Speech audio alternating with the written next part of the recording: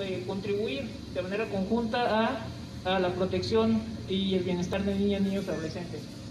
Eh, reconocer eh, este interés y, y, este compromiso de quienes en este momento están contendiendo a un cargo público y verdaderamente animarles a que más allá de, de este proceso electoral, eh, asumamos la agenda de la niñez y la